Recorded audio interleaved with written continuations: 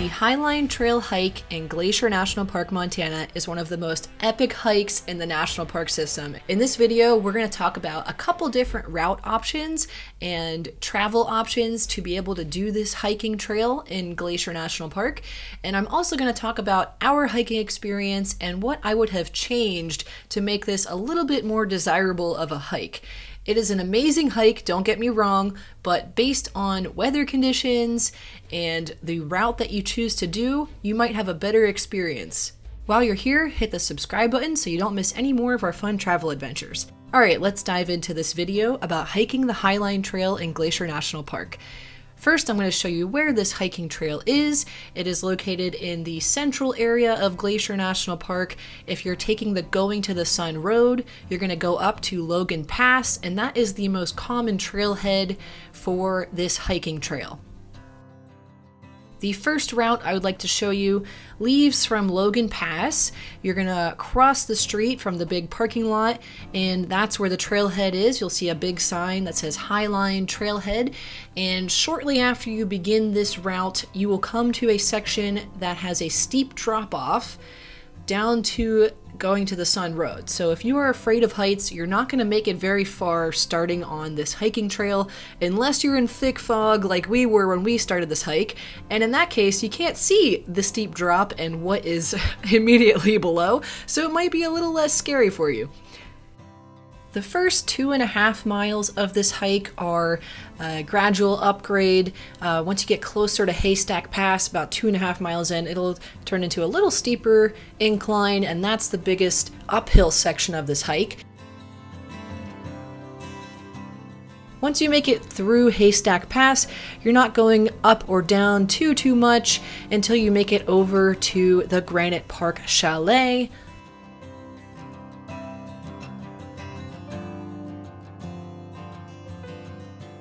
From the Granite Park Chalet, if you're continuing along this route option, you're going to head southwest along the Granite Park Trail and take that hiking trail downhill all the way to the Loop, which is right on going to the Sun Road. So you're taking a one-way hike. Very important information. If you're hiking route option one, starting at Logan Pass, and then hiking the Highline Trail down to the Loop, you are doing a one-way hike from Logan Pass down to the Loop. So you need a ride back up to Logan Pass. Um, there are a couple things you can do here. If you're staying in West Glacier, I think the best option for you will be to park at the loop with your vehicle, then take the shuttle. There's a shuttle system that runs through Glacier National Park. In 2021, you needed reservations, so check my link in the description under this video for information about the shuttles. Um, but you will need a shuttle ride from the loop up to Logan Pass. From there, you can hike from Logan Pass all the way back down to the loop where you parked your vehicle earlier in the day, and then you can take your vehicle back. If you are staying in the eastern side of the park, I would recommend parking your vehicle at the St. Mary Visitor Center, taking a shuttle from St. Mary Visitor Center up to Logan Pass. Then you're going to hike starting from Logan Pass all the way down to the loop, hop on a shuttle from the loop up to Logan Pass again, and from Logan Pass, you have to make a transfer to the shuttles that go to the eastern side of the park. So you'll transfer onto a different shuttle that will take you back to St. Mary. And that sounds really complicated, but it's pretty simple when you do it in person. that is what we did. We took a shuttle from St. Mary up to Logan Pass, and then hiked the trail to the loop, took the shuttle from the loop up to Logan Pass, and then switched shuttles from Logan Pass back to St. Mary, where we could then drive back to our campground. I do not recommend trying to take your vehicle up to Logan Pass. It is totally full parking lot by 6:30 a.m. It is a very very hectic parking lot and it will add stress to your day. If you get there after 6:30 a.m., sometimes even before that, the parking lot is going to be full. So option one is the path we chose to take when we did this hike for the first time in 2021. If we come back and do this hike again, which I hope we will, option two would have to be my way to go. We start at Logan Pass. It's an out and back trail. It's about 15 miles. You can tack on a little extra mileage if you decide to do the Garden Wall Trail with an overlook of Grinnell Glacier. So it's more strenuous, it's a longer hike, and there's more elevation gain.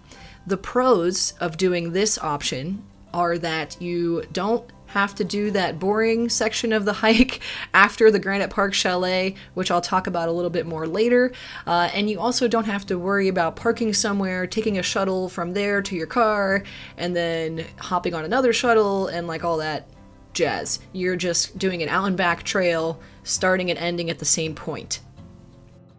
Quickly, I'd like to mention that you could still do a shuttle with this option if you want to avoid parking at Logan Pass, like I recommend. You could just park at the visitor center on either the east or west side of the park and then take the shuttle from there up to Logan Pass.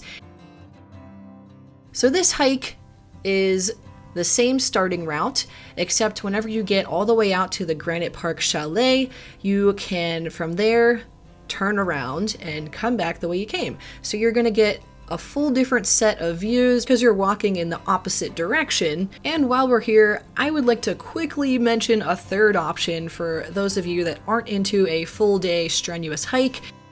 You can start from Logan Pass and just do a little bit of the Highline Trail. Maybe you just want to see that ledge uh, and how scary it is uh, right when you're a quarter mile in on that cliff ledge just uphill from going to the Sun Road. And you can hike out as much as you want and hike back. You don't have to do this full hike. And that's a great thing to do. Listen to your body when you do this hike, because it is a strenuous hike. You could also park at the loop and just take the Granite Park Trail up to the Granite Park Chalet, but those views aren't quite as amazing as the views from starting at Logan Pass. Alright guys, so those are a few of the options for hiking the Highline Trail. There are a handful of connecting trails that meet off of this trail, so you're welcome to add more to your hike by going on one of those side trails as well. Now I want to talk about our hiking experience and what I could have done to make it a little bit more exciting. Basically just things I learned that would make it more fun next time.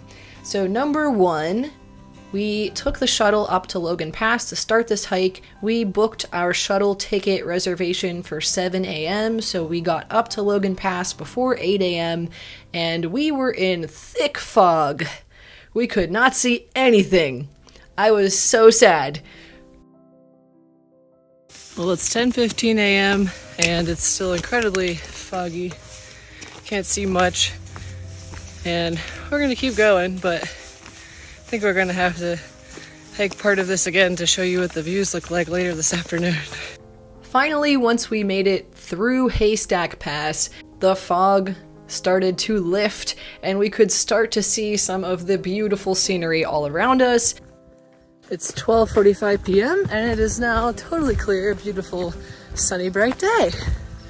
Woohoo! And we saw some pika. Another thing I learned while doing this hike is that the views are not that exciting once you get past the Granite Park Chalet.